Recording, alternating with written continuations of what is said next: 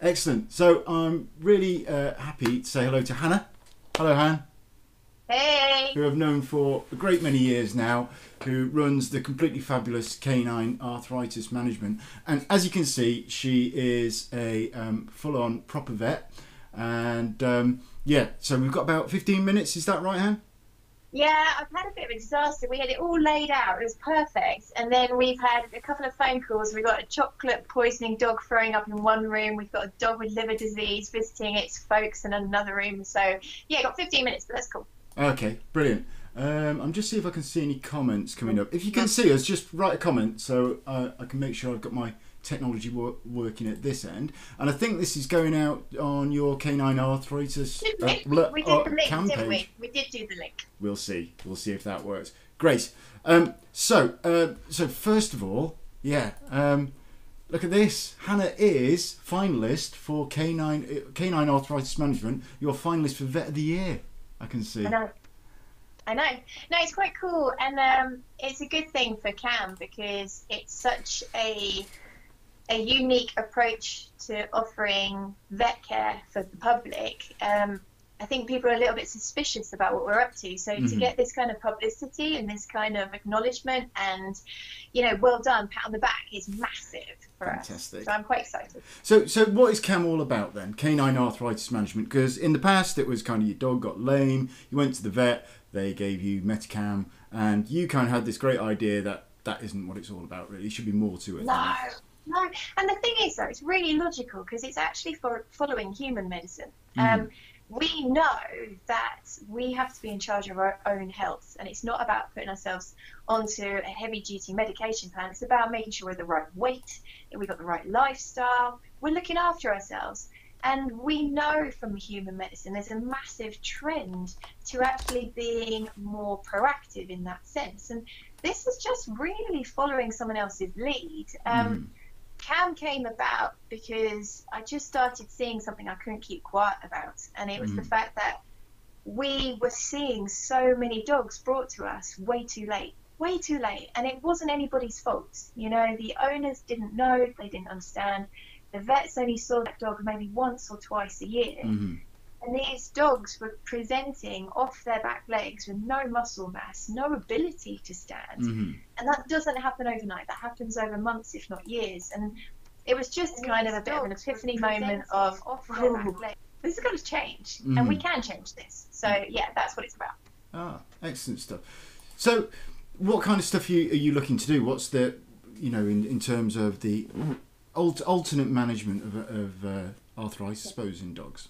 Okay, so the ultimate goal is that we actually reduce the incidence of arthritis. So Mm. something that we're just beginning to discuss is people's management of their dogs from the moment they think about buying one. Hmm So actually raising awareness about how the there are these dysplasias, these problems with inbreeds, these inherited disorders that do leave them open to arthritis. And that's something that happens quite a lot is that people talk about these genetic conditions, hip dysplasia, elbow dysplasia, but they don't seem to then go, that means early onset arthritis, and arthritis means pain, and pain can mean a premature death. hmm So first of all, that would be an amazing achievement to actually get people to connect these inherited diseases with long-term discomfort. So therefore, think before you purchase, and when you do purchase, do some background on it. You know, check whether they've been hip scored, elbow scored. Look at the breed you're purchasing. Mm. But also think about their weight when they're young. Think about the activities you ask them to do.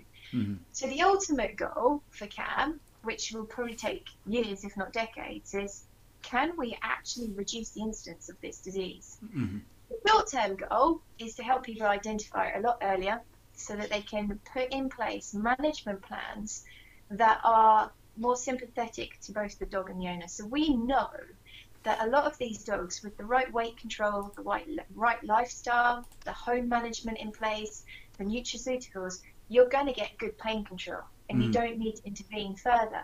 Mhm. But unfortunately, the education's not there, so people are picking up on signs way too late. Mhm. So how exciting would that be? That if we can actually start ch- changing the way that people look at their dog and they take these small observational changes and go, could be a problem. I'm going to go and speak to my vet about it. What can I do?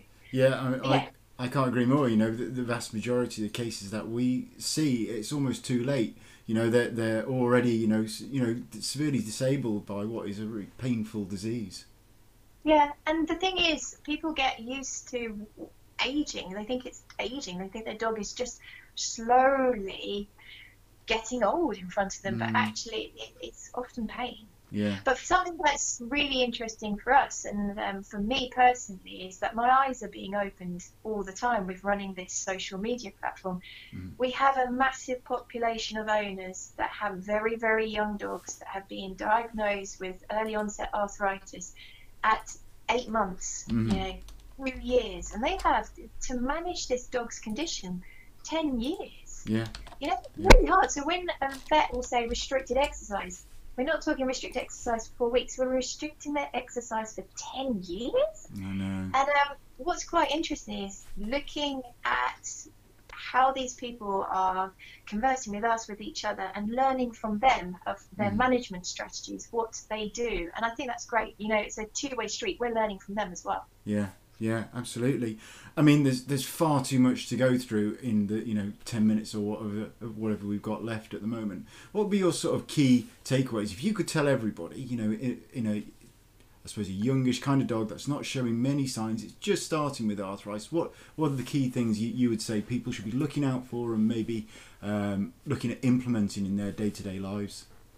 Okay, so I love this. This everybody that's seen one of our um, owner workshops, they know what this means, and it means that there's four ways that you can look at your dog. So you're looking for behaviour change, and Mhm. generally the first thing that you will see with a dog that's beginning to deal with chronic pain is a change in behaviour, and that can be that they they're a little bit antisocial, they're a little bit slower, they're less enthused on a walk, they might not jump onto the sofa anymore, they might Mhm. not get into the car anymore, they might even just hesitate. So the first one is behaviour change, and that's generally the first thing that we see. Mhm. And then we start to see postural change. Mhm. So you'll see the dog maybe just stand a little bit different. They might arch their back, their neck carriage might be a little bit low. Like us, if you've got a painful area, you weight shift away.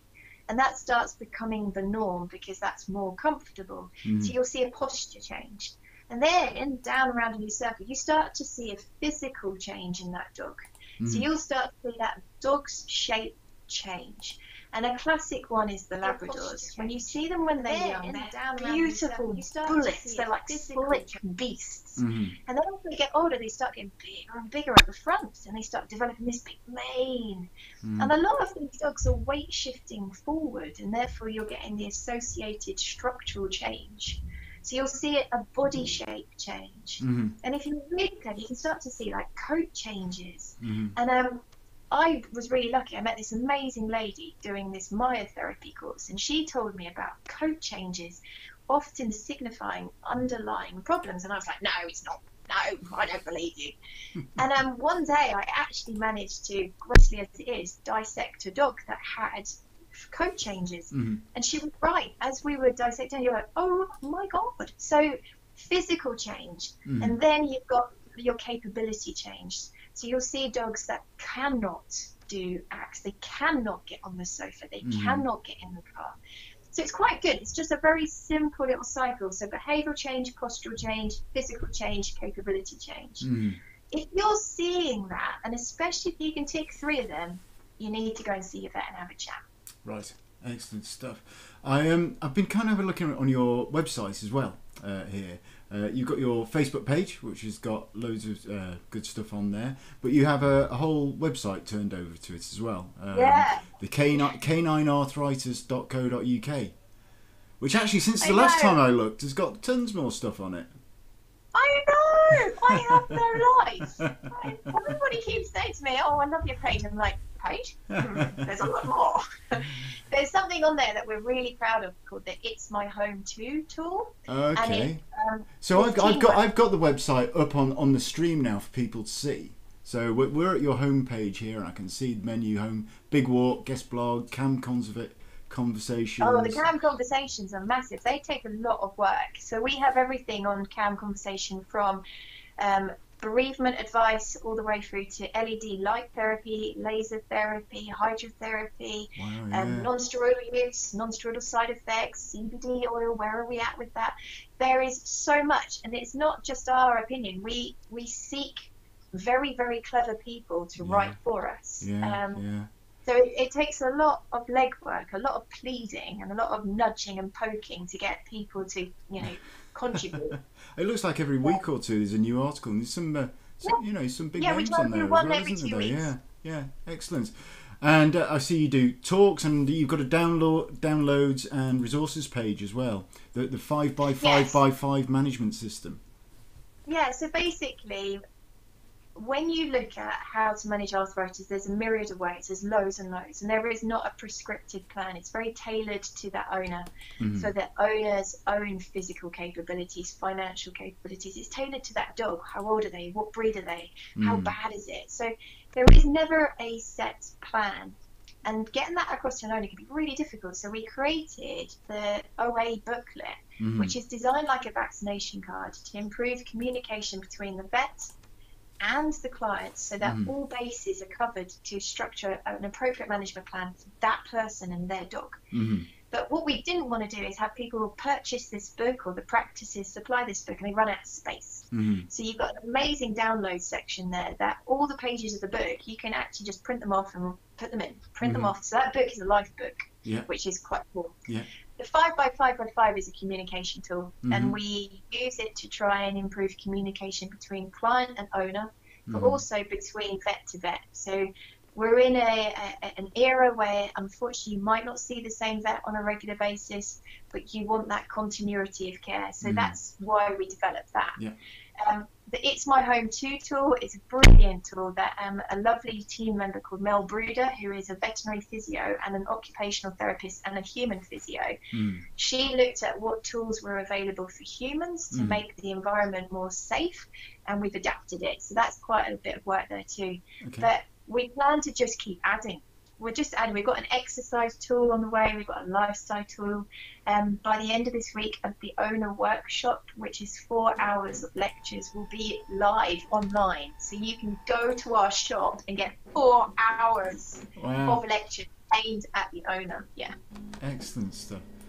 That's fantastic. I mean, it's a, it's a huge resource, isn't it? So, and, and there's a forum on here as well. I, I notice. Yeah, yeah, we got forum because people have different ways of communicating. So we've got Holly's Army, which is one of the groups of our Facebook page, Mhm. and I think we've got about fifteen hundred owners. And the, the the idea behind Holly's Army is that you can ask anything, Uh-huh. and you can also just pop on for support. You can just pop on to say you're having a good day, because this is a, quite an emotionally debilitating disease for the owner. So Holly's Army is beautiful. I love it because the people are just fantastic. And what we're finding is we educate that cohort, and when new people arrive, they mm-hmm. educate the next cohort. So we're creating a, like a pyramid learning, which is fab. But we've also got canine equipment review page, which is where we talk about harnesses, trolleys, beds, bowls, because these are quite expensive, and people have the ability to create financial toxicity, which means you just spend all of your money and you might have not actually spent it appropriately. So we try and help people make purchase decisions. But we also have a forum because some people want a little bit more privacy. They don't want to be Mhm. in the hoo-ha of social media. So the forum's a little bit more, it's a little bit more dry. Mhm. But again, you can ask anything, and we have people overseeing it, trying to give advice as well as you being taught from peer to peer, if that Mhm. makes sense. I see that there's something on there about Arthramid at the moment. Oh, I know. It's now called Aquamid. Uh, Aquamid, yeah, because Arthramid went off license, or we couldn't get it anymore. Yeah. yeah, yeah. Yeah. Ah, interesting. Um, so we, we've had our 15 minutes here, Hannah. Can we keep you for a, a little bit longer, or do you? I haven't had anybody knock on the door yet. Excellent. What else do you want to know? uh, well, exci- one of the things I, I keep talking to people about, having had all the sort of lectures off you guys, is modifying exercise around the house. And one of the things that you were talking about was micro traumas. You know, dogs slipping around and struggling on, on kitchen floors and on. Or, you know, you know, tiles, any anything like that. What what are the sort of um, environmental changes that people can easily make within the house? Yeah, I oh, obviously, um, I know this, and I know it sounds silly. There's not actually much work out there for people to relate to with dogs with slippery floors. There's more work in the human world because of trip hazards, slip hazards post surgery. But with regards to research papers about the influence of slippery floors, etc., in dogs, it's not there yet. Mhm. But it's common sense. It's common Mm. sense. And um, there's so many cases that I've seen where we've just put environmental adaptations in place and that dog's pain state has dramatically reduced Mhm. and their quality of life has gone up. So key things that I always try and encourage people to do. Sort out your slippery floors. Mhm. Even if the dog is not falling flat on their face, you Mhm. just watch and I bet you they slip, slip, slip, slip. Yeah. And that creates muscular guarding. So if you know you're going to slip, you tend. Mhm. And when you do then slip, it's way more painful. Yeah. So these dogs, they're already in a compromised state. Don't make it worse. Mhm. So non-slip floor, Yeah. stairs. Yeah. Uh-uh. I put two dogs to sleep because of them falling down the stairs. They're not only arthritic and painful, they're weak Mhm. and they've lost their sense of balance. Yeah. And we expect them to carry on doing these things because we think they're four by four. Mm. They're not, okay? Mm. So I beg people, get on your hands and knees at the top of the stairs and look down and think, okay, how's this going to pan out for me? Not well. I did that the other day. It's not good. it's not good, It's is not- it? In fact, it was a small child who was telling me to do it, and I, yeah, I mean, it, it, that is steep when you do that. Yeah. And if I can't imagine if you had elbow arthritis or something and trying to support your weight going Yeah. down. Yeah. Yeah. Um, but you normally find owners will say to you they have trouble getting up the stairs, but it's absolutely fine getting down. That's gravity. That's not enthusiasm. Okay. Right. They're just kind of collapsing down the stairs. Yeah, exactly. Ah, So okay. stairs, but they're not just the main stairs of the house. Think about your back door steps, and I Mm. see this a lot, and I've seen it a lot over the winter, where people allow their dog the privacy to go out to the loo on their own. Mhm. It might be a bit dark, it might be a bit slippery. They don't see that those four concrete steps are a hazard because they're not stairs. Mm. They are just as bad. So Mhm. you need to imagine yourself with a debilitating condition and walk around your house and go, what would be logical? I Mhm. often say to men, imagine yourself wearing a pair of high heels. How would you get around this house? And they Mm. normally look at me going, but it's really true. You have to look at how can I make this environment safer? Because if I want to have them live as long as possible in the most comfortable fashion, Mhm. these things add up to big injury. Yeah. Oh, sorry. Your, your, I think your uh, audio's just cut out there, and I can't. I can't hear you at the moment. uh, let's see if we can get you back. Uh, give me a moment. Mm, no, nothing coming through here. No. Can you make signs?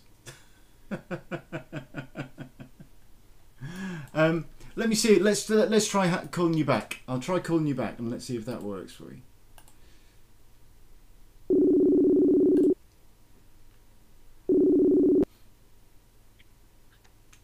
You're How's back that? on. Yeah, I can hear you again now. Excellent stuff. Yeah. So uh, stairs. Anything else around the house that we need, really need to look at? I think bedding's a really interesting one. So we assumed that all dogs would choose comfort. Mm. Um, the majority do. So think about your bedding. Um, I've seen all manner, manner of things. Um, those plastic bowl beds, you know, the old-fashioned ones, hmm massive trip hazards. They come in the side, they catch their toes or their back leg, and they slip and wrench themselves forward. hmm So we say make sure it's easy accessible. hmm Think about the phone. You know, if you've got a surface that's really unpredictable and it sinks down unpredictably, hmm that's going to make it hard. Yeah. So make sure it's a non-firm foam. It's easy to get into. It's in an Mhm. accessible part of the house. Yeah. Backrests. A lot of dogs push their backs into into these backrests. Mhm. Make sure it's warm. It's not in a drafty area. And something that is so logical. When I say it, people go, "Oh yeah." Make sure that the floor that they come out of their bed onto isn't slippery. Because if they've been laying there for two, four, six hours, they're going to be stiff hmm and they're going to struggle. So by then putting them on an ice rink, we're not giving them any help at all. So bedding would be another one. Raise the food bowls. hmm There is a small link between dogs that are prone to bloat hmm potentially increasing the chances by having a raised platform. So what we suggest is water high, yes. Mhm. But if you've got a large breed dog that might be prone to bloat, Mhm. then feed them very small quantities, scatter feed them, use slow feeding devices, something along that. But Mhm. if you've got painful elbow arthritis, if you've got it in your wrist, if you've got compensation into the muscles of your neck, leaning forward and trying to do a handstand every time you want to drink is not going to be comfortable. Excellent. Um, so I'm just going to ask. I see there's quite a few people out there watching at the moment. I've, I've found finally sorted out my life when it comes to, to the comments. I can see the comments. So if you've got any questions, pop them in the comments. Uh, but I've got a question for you now, Han. Um, exercise. I'm always asked, you know, what can I do to, to alter exercise? And you know, Yeah. I will say stop the ball chucker. You know, long slow exercise. What what what are your what what, what are you finding works well? Okay, so that's one of the reasons we're coming up with an exercise tool. A bit like the It's My Home Too tool, we're trying to give a way that people can make their decisions about what is appropriate exercise. But point blank is stop the ball throw. Okay, that high adrenaline Mhm. is just not suitable. So when they see these balls that they love, all the brain chemicals go crazy and they stop feeling pain. hmm So they'll chase that ball, they'll chase that ball, they'll chase the ball, and then eventually they'll either drop or they'll be exhausted. They'll come home, all those neurochemicals go, and they're like, oh my god, I shouldn't have done that. hmm So you always say to me, but he loves the ball. I'm like, no, he's obsessed with the ball. That's different. You know, he's obsessed with the ball. What we can do is change the activity. You can ask them to wait, put the ball somewhere, go and Mm. retrieve it. You can go and hide it in the undergrowth. You can Mhm. still have a relationship involving a ball, Sure. but we don't want the high momentum. Um, we do lots of scenting games, lots of scatter feeding, that sort of thing.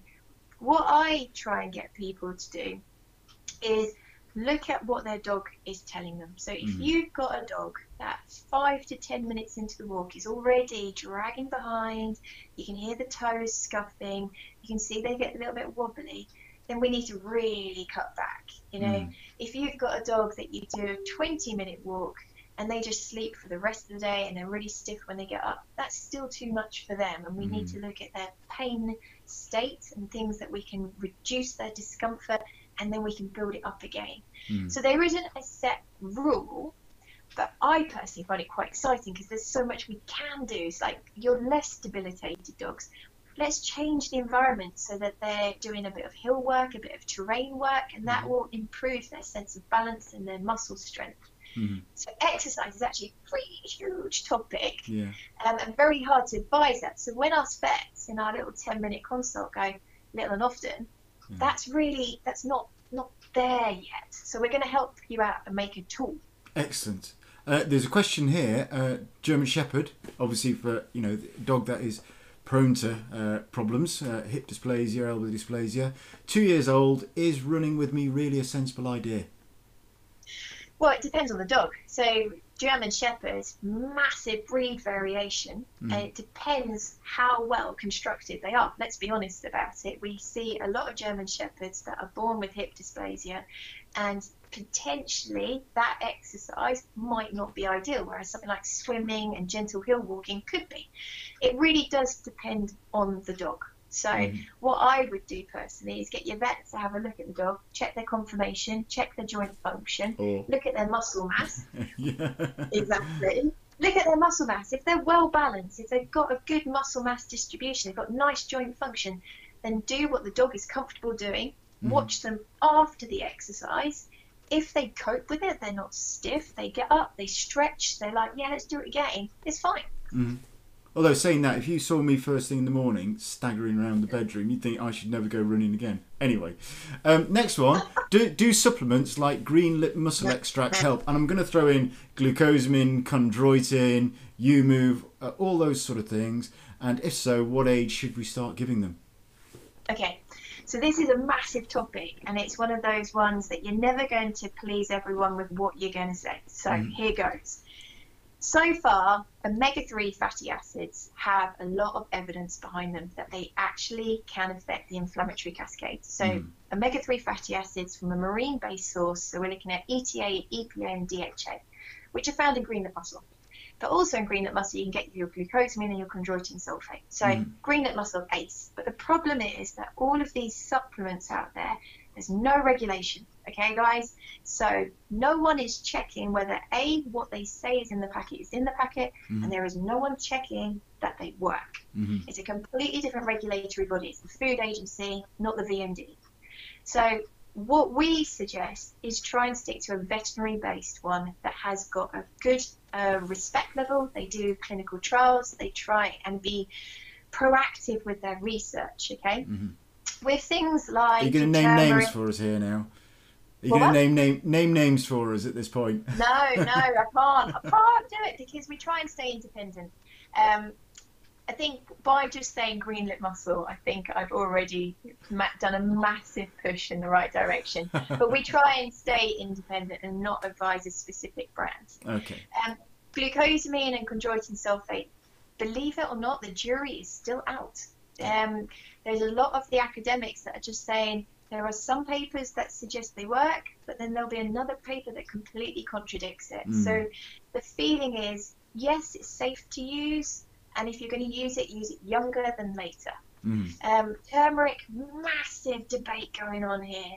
At present, not much evidence that it does what it says it's going to do. Mm. But there are people out there that say it's blinding. So Mm. what we say with turmeric is by all means use it, but beware, it can cause stomach irritation. Mhm. It actually potentially works on the same pathway that non-steroidal anti-inflammatory drugs. hmm If you had a dog that was on turmeric and then you started Metacam, Metacam will get the blame. Mhm. But it could have been turmeric that irritated the gut. hmm So it can affect gallbladder contractions, stomach lining, etc.